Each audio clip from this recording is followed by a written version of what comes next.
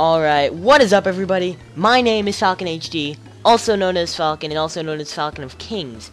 Yes, this is my new channel actually, and if before I get started with this video, if you could go subscribe to that, that'd be immensely helpful. Yeah, so just go, go subscribe to Falcon HD, not trying to like, I don't know, advertise, even though I kinda am, but whatever. So yes, it has been three months since I last uploaded something of this. I think three months, something crazy like that.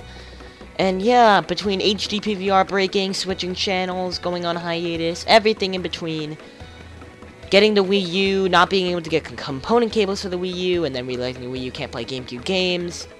Ooh, it's been hell. But anyway, I am back, and I'm delivering you guys episode 3 of Paper Mario's Thousand-Year Door.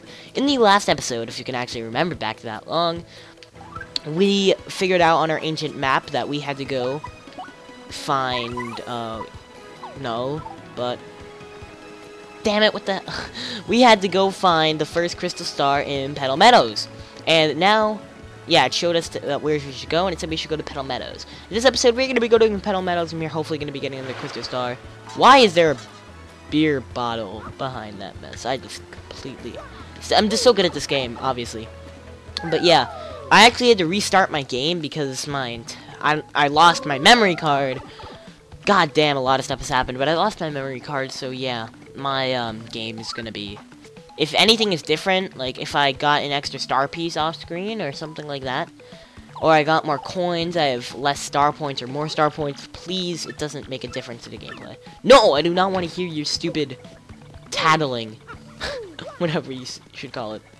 Alright, and also, we got the paper airplane ability, so if you go in one of these panels, you can fly like an eagle and soar like a dove.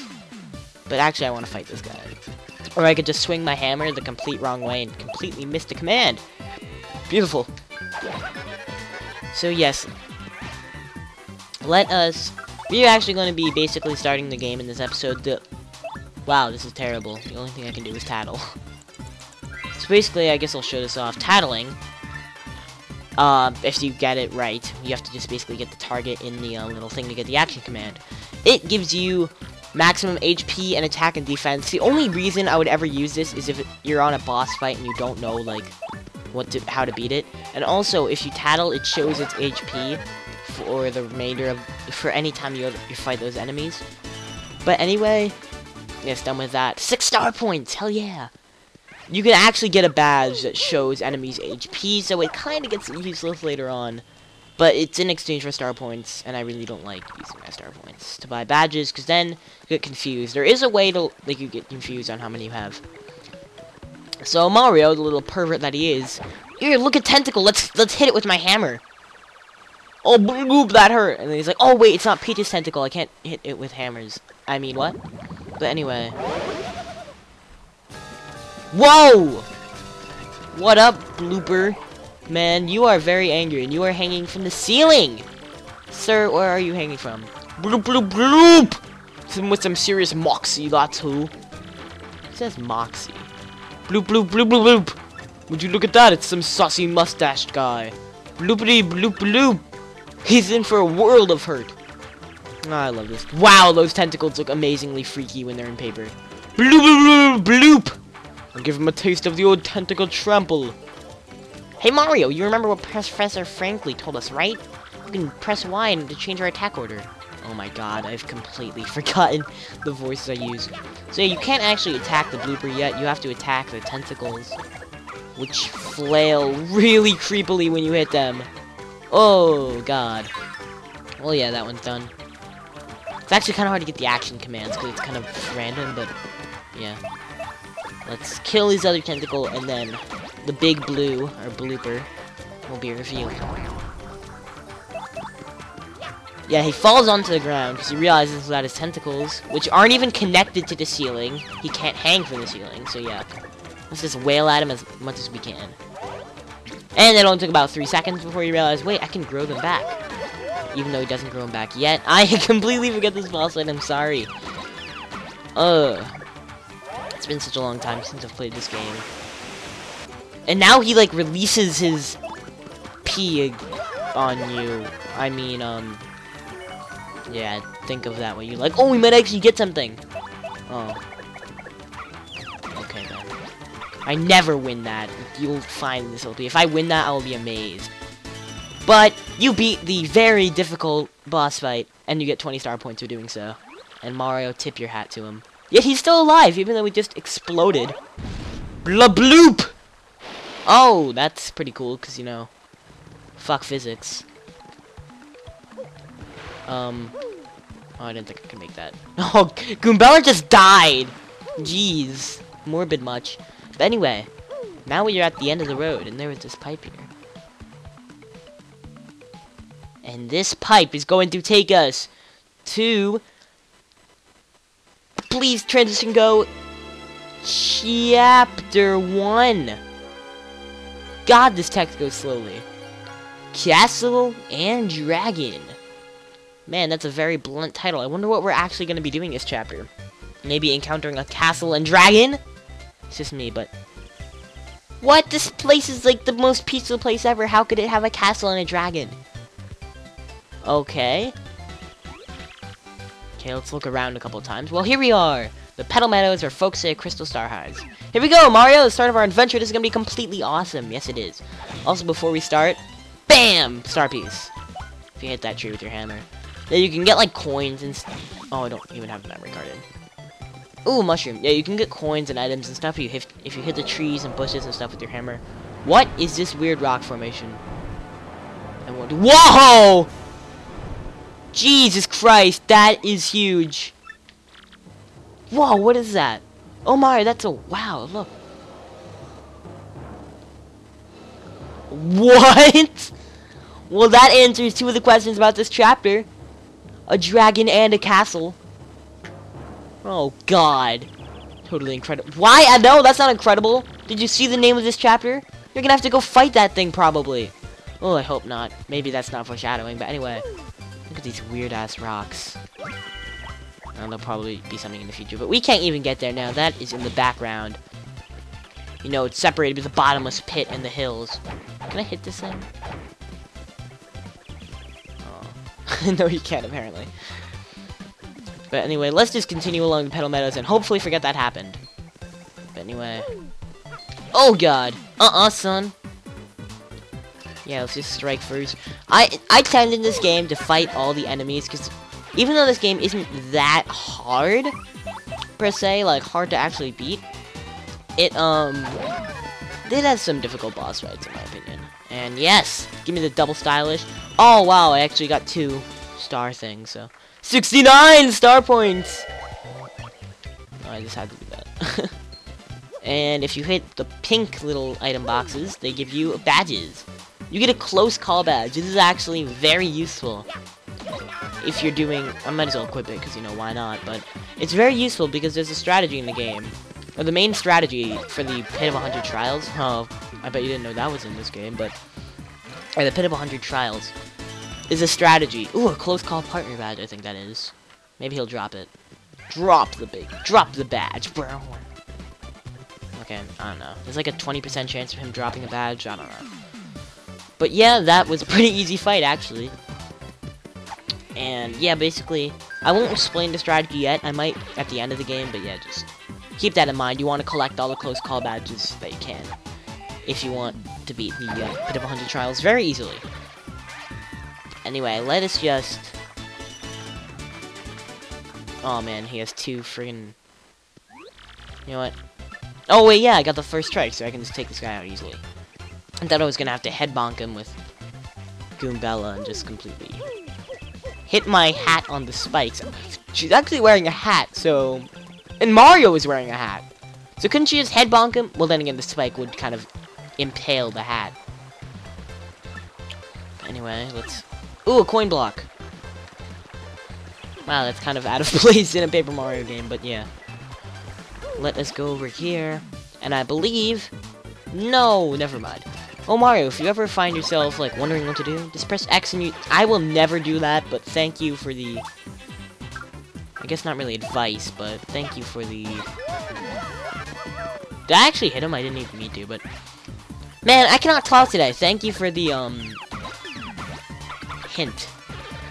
I do not know how to speak English clearly, because that was the derpiest thing I've ever done. But yeah, let's jump over all the Goombas.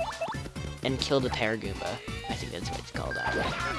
I would use Tattle on everything, like just to give you a bio, but I could do my. I'll have my own Tattle log, the Falcon log.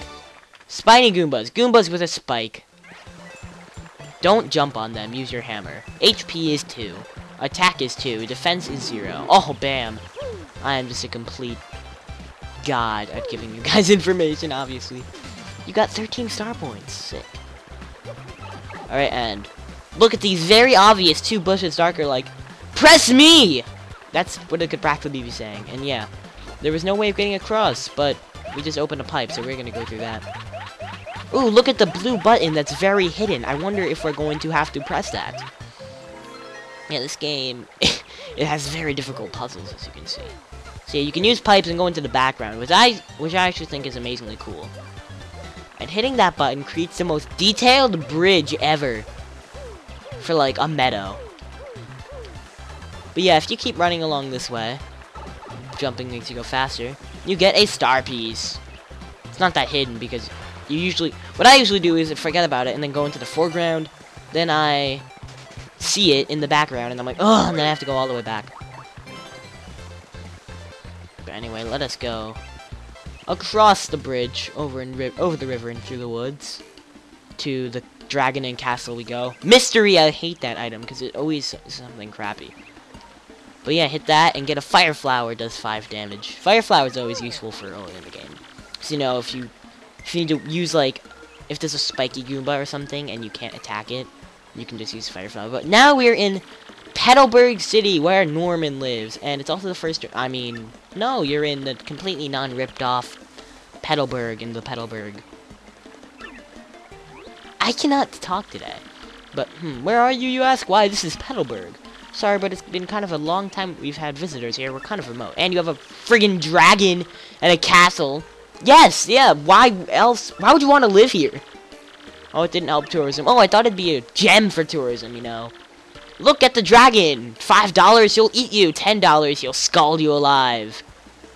Ooh, Hooktail. Hmm, that's a... Ooh, it's a scary name. Pfft.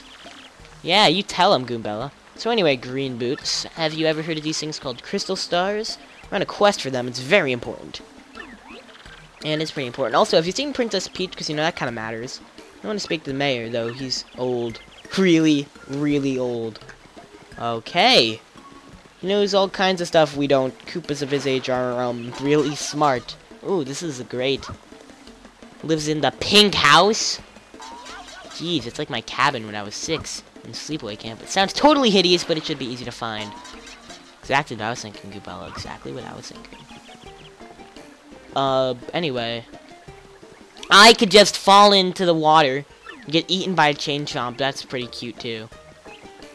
Oh, and I could do it again you know, platforming in this game, in an RPG. I swear to God, I'm not doing this on freaking purpose. Um, okay, time to actually... Okay, Woo, that was tough. But remember this guy? Bubblebur, or whatever his name is. I'm pretty sure he was in the first game. I don't know. I wasn't a big fan of Paper Mario 1. But check out this small little Goomba man. Hey, what's up? I gotta say, I'm really hooked on playing GBA games lately. There's one game that just absolutely rules. It's called Fire Emblem. It just rocks my socks. Alright. Totally not product placement, but, you know. Yes, I've actually never played Fire Emblem, fun fact. And who are you? Hut, I am General White. I'm a Bob-omb and I've lost hopes and dreams. I live in solitude, always. Must apologize that I asked you and just leave me alone. Wow. Jeez, way to be depressed. Just look at life in a positive note. Why do, why do I have a feeling you're going to be a very annoying part of the game later on? That's just me, though. This world is very nice. Clear water, clean air, absolutely delicious. Oh, that's kind of weird, but but this foul hooktail, it makes everyone forget their fortunes. How sad. Yes. Oh, God! I just walked right into that. There was no excuse. I have six friggin' life left. Boy, the mayor's been so forgetful lately. Yeah, because he's really, really old, apparently. Ooh, check out the girl, Koopa. Well, hello there. My name is Koopy It's nice to meet you. Oh my gosh! That hat, those overalls, and that magnificent mustache. You're Mario, aren't you? Yeah, I do get my way with the ladies. Yeah, I am pretty strong, you know. If you're here, that means you're gonna challenge the monsters. Whoa, whoa! Let's not jump to conclusions. I know I'm strong and handsome, but I don't want to challenge dragons. I mean, it's a little dangerous. Oh, if only Koops were his... Who is this Koops? well, he sounds like a pussy, but anyway. Here is the hideous pink house that we so apparently have to go in. Oh, you are a very old Koopa. oh my god. Was there someone there? Who is it? Who?